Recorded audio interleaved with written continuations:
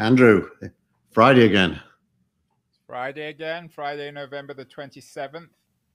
Um, and uh, we have discovered something important this week. Not only is capitalism deformed, Keith, but its its deformation, if there's such a word, uh, has been caused by your friends, the venture capitalists. So, um, why why is capitalism deformed, and, and, and what have the venture capitalists done to ruin it so much?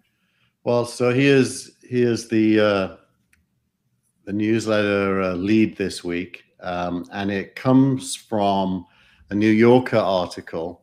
Um, uh, here's the here's one of the the key quotes from the article. Even the worst run startup can beat competitors if investors prop it up. The VC firm Benchmark helped enable WeWork to make one wild mistake after another, hoping that its gamble would pay off before disaster struck, which is kind of an interesting quote. Um, it's a long piece in the New Yorker, and the headline by Charles Duhigg, who's um, a best-selling author and also a, a New York Times writer. So it's kind of interesting because it's a BuzzFeed style headline because actually the article is mainly about WeWork and they've taken a, um, a clickbait headline, how venture capitalists are deforming capitalism. And, um, it, you know, it's a simple point. Um, he's making the point that if you have enough money uh, and you throw it at something, you can make it work. Funnily enough, his article is proving the opposite that no matter how much money you throw at a bad idea, it, it doesn't work. well, but, I'm not sure. I mean, firstly, WeWork is an interesting case where, and I'm not saying I told you so, but it seemed to me at the time that it was clearly a scam because there's no way it could ever work. It, it, reminded me of Enron. I think it's the closest thing to Enron, and the guy in charge was somewhat like Enron. I'm sure yeah. in jail. You know, in my venture work, a, the, in the work I do in venture, there's a religion, and the religion's called unit economics and unit economics is the measure of whether something can be profitable um, and at scale. And yeah, you're right. WeWork never had or ever could have had good unit economics. That said, to um, to to accuse venture capital of deforming capitalism due to that investment makes it appear as if that's a typical case. And I think you know, in venture capital, given that nine out of every 10 investments fail. Um, there's lots of failure, but the truth is there's also lots of Teslas. Yeah. Well, that, I mean, and Tesla a year ago seemed in some ways like WeWorks. Well, te- Tesla always had great unit economics, but it was making a loss in order to grow. Mm. That's the difference. Yeah, if you grow something that can't be profitable, you just make a loss forever. I think what this piece shows is the power of superstardom. You you need the uh, who's the WeWorks guy? The Neumann. What's his name? I think it's Neumann or something. Yeah, Adam Neumann. Um, and it also focuses on one particularly seemingly erudite Anglo VC, is it a benchmark, who um, contributed to the, the, the, the myth of, of, of WeWorks. So here's my question on WeWorks. Can venture capitalists back a losing proposition like WeWorks and still make money? Um, there's a lot of variables in there. WeWorks, where most of the money that went down the, the toilet, so to speak, I mean, did that come from uh, Asia?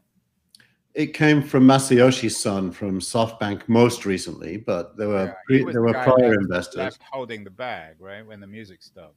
Well, he's done an interesting thing. He's marked WeWork down from its peak to currently $2.9 billion of valuation.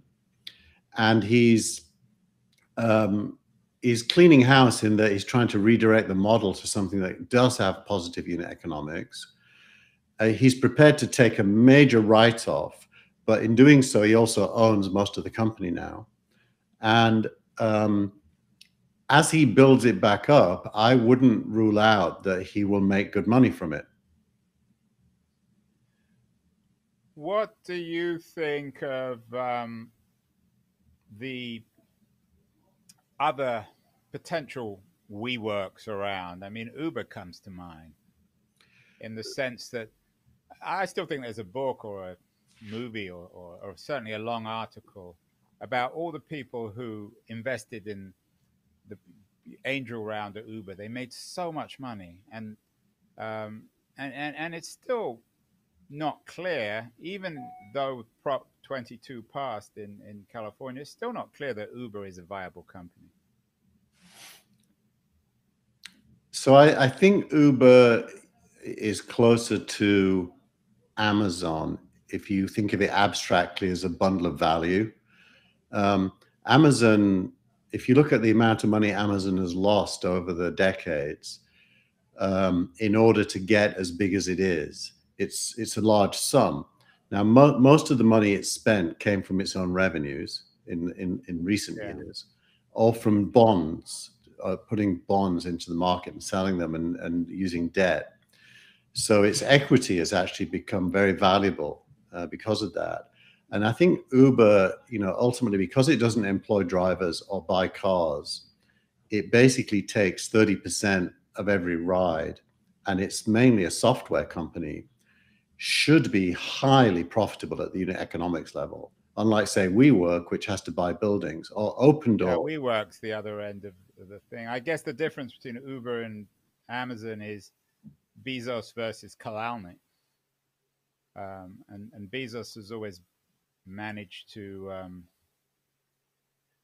uh, to be a you know hero genius type, whereas Kalanick is smart and dynamic, but also has an element of the criminal in him, which ultimately cost him, right?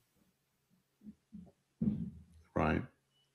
And I guess uh, Kalanick's much closer to to Newman or Neumann at uh, at WeWork.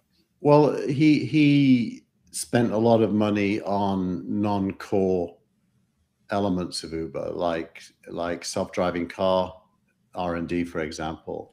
Um, I mean, um, you're an insider, so for you it's less shocking, and I'm a semi-insider. But for ordinary people, people who aren't in the community, who aren't in tech, there is something very troubling about this. Is that VCs throw you know, tens, hundreds, maybe even billions of dollars at a, an idea like WeWorks, which clearly couldn't work and was self evidently, uh, if not fraudulent, profoundly problematic. It's definitely not fraudulent. I mean, if you think well, about there's it, there's an element of fraud in the sense that the whole thing got going in the first place when, as you say, it couldn't really work. Well, if you if you modeled it out, what I do with startups is I model them out. If yeah, you modeled it out, out you said, okay, okay, my rent on this building is fifty thousand dollars a month, and there's three hundred desks, and if I could rent fifty percent of the desks at you know a thousand dollars a month, then I'm going to have a gross margin. Uh, o- Opendoor does the same. Uh, Opendoor buys and sells houses, and they sold five billion dollars worth of houses last year but their gross margin was 1.9%. So basically, um, there are businesses which might work at scale. You, you have to model them out, and you then you have to, you well, know, anyone can model them out. All you got to do is have a computer, right? I mean, uh, yeah, but then you've got to do the work. Then you've got to get the buildings. But as this article shows, uh, which is a very well, I mean, whether or not you agree with it, it's very well written and very readable um, it was Neumann, the sort of charismatic uh, founder, who convinced everyone, who, who who's spellbinding. I mean, he's he's got the Kalanick or the Bezos quality of conv- and and obviously Steve Jobs of convincing people that what couldn't be true actually is true. It's not. I'll, I'll be honest. It, it, you know, and remember, I, I've been responsible for raises of close to a billion dollars in my career and uh, clearly, you have to sell and tell a story when you do that. There's no way you're going to be able to do that unless you're charismatic and can tell a story. But you also have to have an economic model that, when converted into reality, produces um, value. And I, I, I think my experience is most VCs do a really good job of filtering out things that will lose money. So I'm going to guess, and I haven't seen it, there must have been an economic model at the core of WeWork that was believable to smart people. Um, I don't I don't know what that spreadsheet was, but well, it's I, always the case. In retrospect, it seems dumb, but you know, Enron had a model. WeWorks have a model. I mean, you can always come up with a model. You can always. I always think the numbers are yeah are the most fictional thing in any presentation. You can always bend the numbers. You can always bring them down or bring them up or whatever you need to do to make a profit. Yeah, but you as the entrepreneur, which I mean, you'll do this for Now TV. Um, you as an entrepreneur can tell whether the model is something you're comfortable executing or not. Um, you, you know, so uh, it's pretty hard to fake it, to be honest, unless you're a sociopath. Because I think the VCs do have, if not a moral problem, certainly a, a PR problem in the way they're perceived by other people. In the same way Silicon Valley has a bit of. I, I, I think that's I mean, true. Is a, he's not some sort of left wing. He's not. He's not. Um, you know, a, a, a Bernie bro. He's a mainstream best-selling author uh, and one who mostly writes about business and insight and, and, and intuition. I mean, his yeah, but his is his ability to determine does that give him the ability to determine the quality of an investment more than say um, the benchmark capital partner that's mentioned throughout the no, article? But I don't think he's trying to do that. He's simply telling a story in this piece. I mean, in the sense that he's ex- he's revealing to people the the absurd story of WeWorks of an idea, as you acknowledge, that wasn't viable. They raised hundreds of millions of dollars, billions of dollars. It was worth many billions, and then it all came crashing down, and someone was left holding the bag. Yeah, I but wonder they... what. Um, in just as uh, most journalists don't like VCs, most VCs don't like journalists. I wonder what our friend Paul Graham would say about all this, Keith. Funny you should say that, Andrew. Um, this is this, this this is breaking news because it's it's just happened. But let's let's. Um, oh, what a coincidence! This is Paul and Graham. It's not a coincidence. Paul Graham sounding off about the New York Times, uh, along with, by the way, uh, along with Joe Lonsdale and a couple of a couple of VCs and Michael Arrington, all making negative points about uh, mainstream media and uh, Gabe Rivera, the founder of Techmeme, down below, making the point that the New York Times has now hit 7 million subscribers uh, digitally. So, um, whereas Paul Graham is predicting the demise of mainstream media, Gabe is um, uh, uh highlighting the success, at least of the New York Times. So what is it about people like your friend Paul Graham that brings out their distrust and dislike of, of traditional journalists, Keith? Why don't they like? I don't think I don't think Paul Graham is really a marketer at his core. He's a he's a he's a coder, an engineer, and um, you know when you've when, when you've done startups successfully, you understand that you need to leverage the media. Um, uh, of course, the media changes all the time, but the New York Times is a go-to place to get them to write about whatever it is you're doing, as is the Wall Street Journal, as is The Economist, and so on and so forth. And I think engineers at their core don't understand marketing as and, and how it contributes to success. they're just that, very thin skinned. They don't like to be criticized. They don't like to read anything that in any way doesn't confirm their often bizarre view of the world. Well, I, I, it's also true, Andrew, that when you're an entrepreneur and an innovator, by nature you're doing things that no one understands yet. And so you get a lot of negativity from smart status quo believers. Um, disbelief is the norm. And that is incredibly frustrating for somebody trying to change the Why? world. I mean, if, if I if I had a really brilliant idea that changed the nature of everything, I would actually want big media to write against it because that would confirm my yeah. revolutionary idea. There would be nothing more annoying than people on the New York Times who got what I was trying to do. Then it wouldn't be very interesting. No, I've I've been there. I agree with you. I, when I did RealNames, there was all these articles saying Keith Teare's trying to destroy the internet by inventing keywords to replace URLs. Um, and I, I loved it because any normal person would much prefer keywords to URLs. and then that was the thing about WeWork is it wasn't even a revolutionary idea. I mean, it was such a stupid idea that they would buy up all the real estate. Well, it's. And I would always ask people, where's the value? Oh, they own all this real estate. What could be more absurd than a, a, a next generation company that was buying up New York commercial real estate? Well, Opendoor's doing the same now with residential real estate. Are you suggesting that Opendoor is a bit of a scam as well? Oh, it's it's not a scam, but it's a thin margin flipping business. Uh, where well, WeWork couldn't. way of saying it's a scam, probably. No, but no. They're not going to have the same. Opendoor's not going to have the same fate as WeWork. No, Opendoor is is run run very well. It makes money. Um, it's just that it has to do a lot of sales to make a small amount of money. Well, let's move on from the defamation of capitalism. Another of your suggested pieces this week, Keith, um, argues that it's not capitalism that's deformed, it's civilization itself. So it's a pretty dark picture you're painting this week. What's going on with that?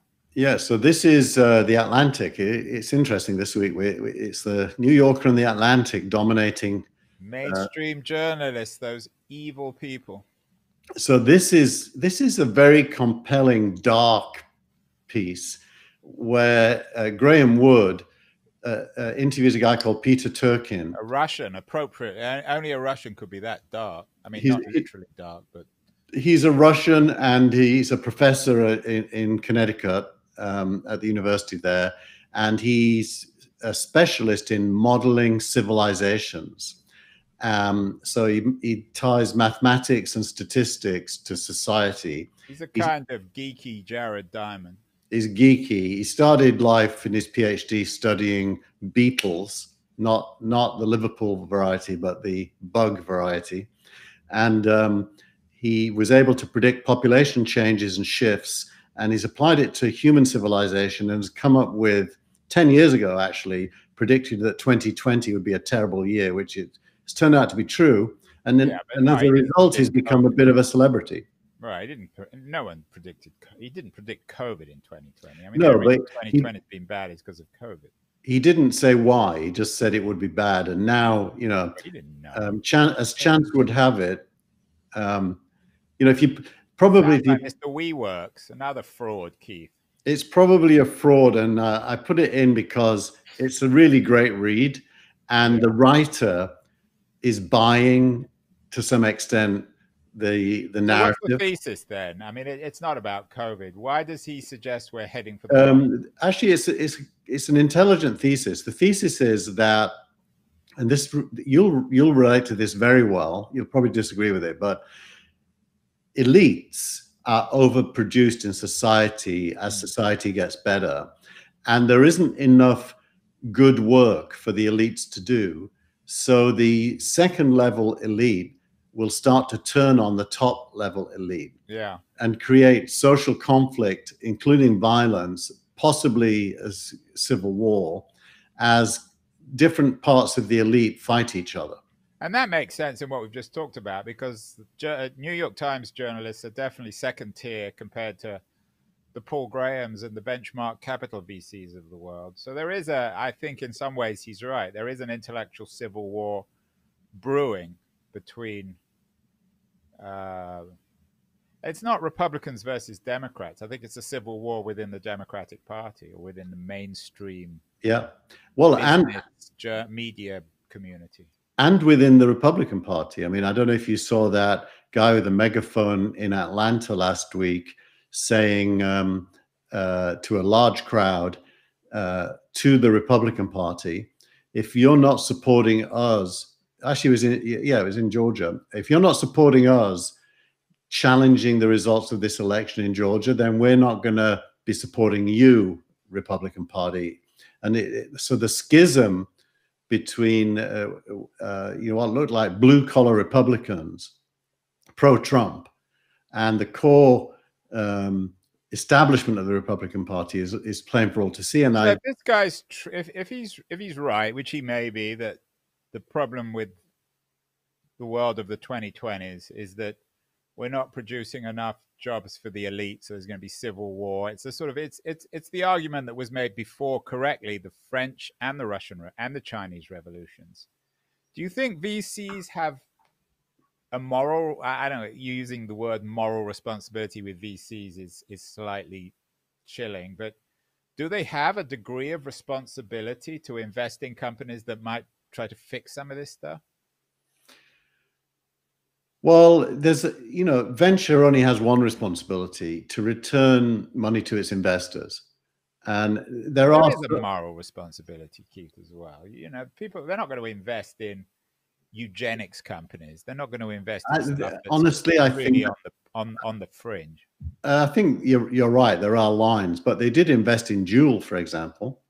Um, uh, so the moral responsibility is definitely trumped by the financial one.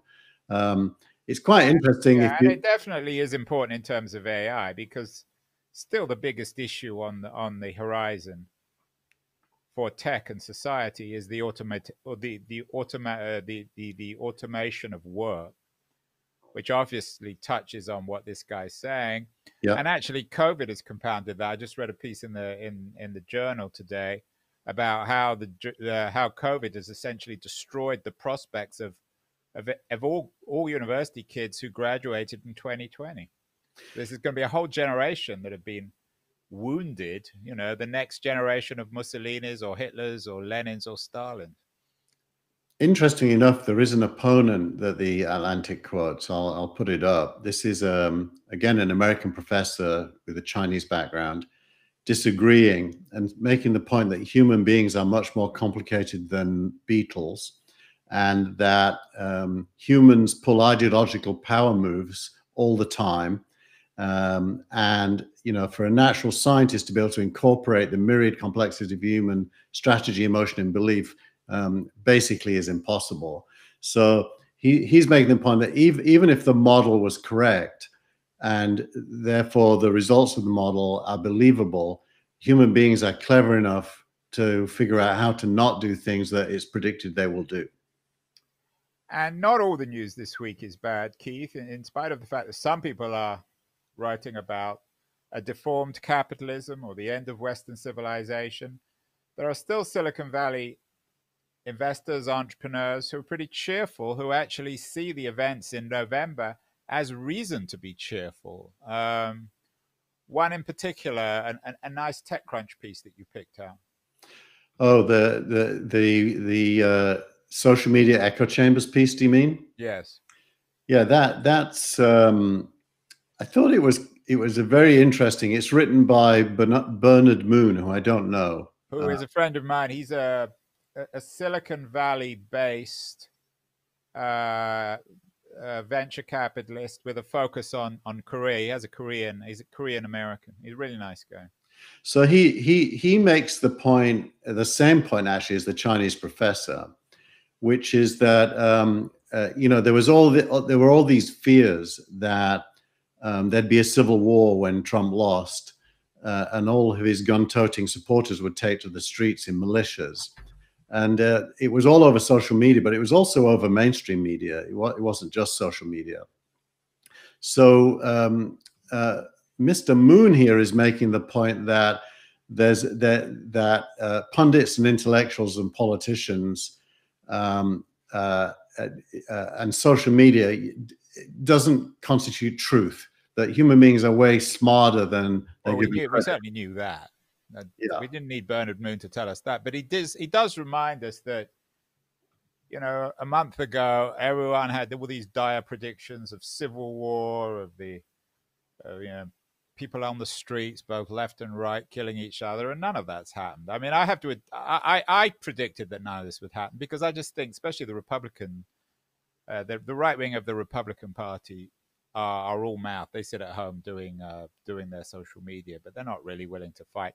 Had Trump won, or had he managed to pull off, you know, had it had the margins been really tight, and he'd managed to destroy the the voting system, I think you would have had violence. Now, I will throw it back to you, Andrew. You, you are a pretty strong advocate of the dangers of social media, and in a way, he's making the point that it's less dangerous than you think because human beings are more intelligent than we give them credit for. Well, he's making the point that there is a center, is a sort of unspoken center, and that everyone who's talking about these divisions goes on social media, they go on Parler or Twitter or Facebook to prove their case, but most people aren't part of that world, which I think he's right on. Very good. So, any other, what's the big tech news this week, Keith? Leaving aside politics and the end of civilization, anything really happening? Uh, nothing major. Uh, you know, no, uh, no safe harbor stuff. I saw an interesting piece on safe harbor changing everything, although we keep on having those. Yeah, no, I mean, um, the, the newsletter this week, which is random because it, it, it, it's the stuff that stands out from what I read in the week, um, is all big thinking. Maybe it's the Thanksgiving reflection moment, but after um, a big meal, yeah, you have. Uh, we don't have anything from uh, Paul Graham, but we do have something from one of your other heroes, Elad Gil, the unusual signs of a billion-dollar company. He shouldn't be let. He shouldn't be telling everyone that because now we all know it. What what what are these unusual signs? Um, well, this is a this is a discussion with uh, another really interesting guy called James Currier.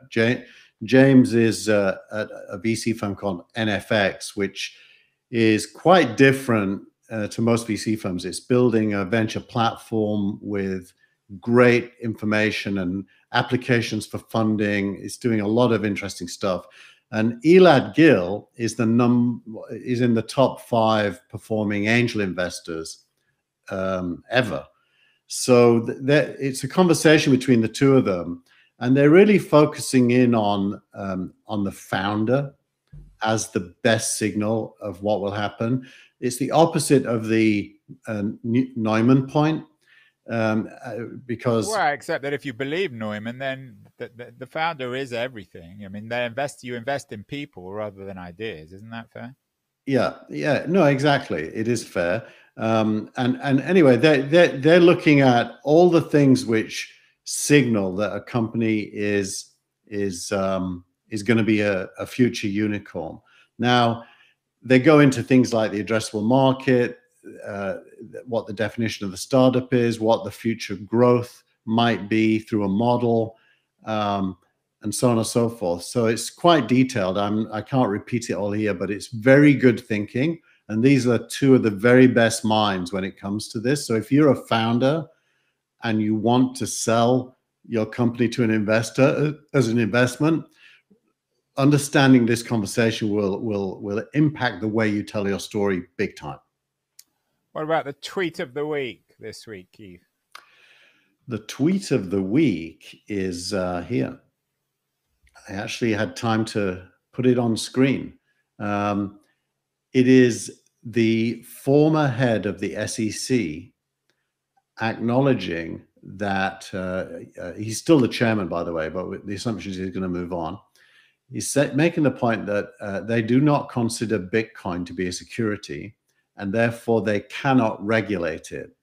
Um, and it, it, uh, more positively, that they see it as a payment mechanism and a store of value. Um, now, I've chosen it as the tweet of the week because those comments coming out of the mouth of a blockchain enthusiast would be completely normal. But coming from the chairman of the SEC, they're profound and significant for the future of value storage, uh, uh, probably not payments. I think he's wrong about payments. But doesn't it confirm what we're already seeing with companies like PayPal allowing people to, ordinary people, uh, to, to trade with crypto? Yep, and Square, Square Cash, um, and Robinhood, by the way. Uh, my my 13 year old has $200 worth of Bitcoin in a Robinhood account. Um, my 19 year old has like a thousand dollars of Bitcoin in a Robinhood account. Uh, so it's it's become very easy. Bitcoin is now at seventeen thousand uh, dollars. Uh, that's down two thousand over the last couple of days. It went as high as nineteen thousand, and um, it, it, its market capitalization is larger now than it was at the peak of the bubble two years ago. And that's why it's your startup of the week, Bitcoin. Bitcoin is is indeed. Is it a startup though? I mean, no one owns Bitcoin. Um, you know, maybe think of it. think of it as um, let, us put this on screen. This is um, this is um, Visual Capitalist, which is a site I love. Uh, Bitcoin is near all-time highs, and the mainstream doesn't care yet. The point being made here is that, um, and if you look at the orange line, that's Bitcoin over the last couple of years from a from the a mountain peak to another mountain peak. The point being they're making is last time it was a mountain peak, it was all consumers speculating like a bubble. But this time, Google searches for Bitcoin are at an all time low. And so this time it's driven by um, it's driven by institutional investors buying into it, which goes along with the SEC chairman's point. And you know now, for those who don't know, you can go to your stock trading uh, site of preference and type GBTC. So BTC for Bitcoin and a G at the beginning. There's a trust now that lets you buy a thousand shares of the trust are equal to one Bitcoin, and you can trade shares that are basically Bitcoin. Um, and that trust has now grossed billions of dollars of inbound investment money over the last six months. So there's something gold like about Bitcoin as a store of value. It's worth saying the dollar, by the way, is, is, is, is seriously down against the pound and the euro in the last uh, month or so. And the predictions are that the dollar relative weight to the rest of the currencies in the world is going to decline. So for those of us who live in the US, dollar isn't a good place to keep our store of value. So you're saying Bitcoin is not the next WeWorks, it's real. Um, to be honest, that's an open question because Bitcoin is really. You're saying it isn't. You're saying you just. No, no, I, I'm not. I'm going to define the meaning of real. Uh, in when it when it comes to stores of value, real is a function of human decisions to use something, and and you can't predict human behavior. But if humans choose to use Bitcoin as a store of value, yes, it will be real. And what can go wrong? Um, What's the worst case scenario? The thing that could go wrong Russian, is our Russian uh, student of, of, Beatles. How could it destroy our civilization? Um, it you know it it it's a true globalizing store of value that kind of overrides the fiat currency nation state central bank structure. So if you believe that the future is a harmonious human race that doesn't care about nations as depicted in, let's say, Star Trek, then it's all good. But if you believe that nation states are permanent and will defend their currencies against each other first and then uh, resist globalism, then it's probably bad. And, and Bitcoin isn't the only cryptocurrency. I mean, you have Ethereum, you have others. So um, yeah. How, how, are they doing?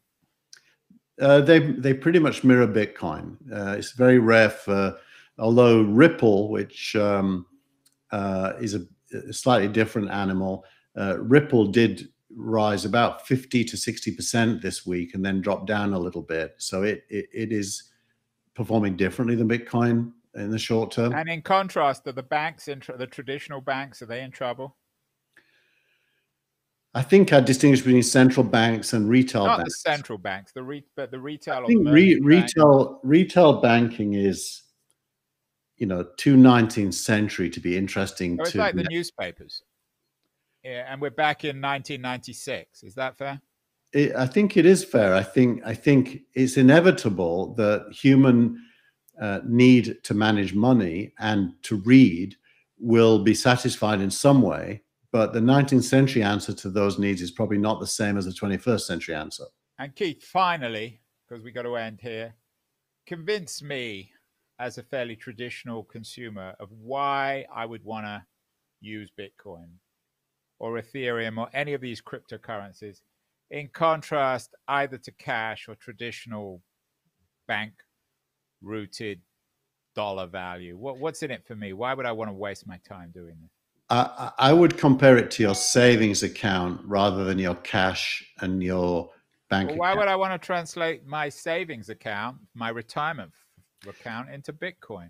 Be- because your retirement account um, it, it, it, depends on the assets it's invested in. Think of Bitcoin as an asset, like a house or or or, um, or a stock. Yeah, but you have a house, so you can live in it. You can't live in a Bitcoin.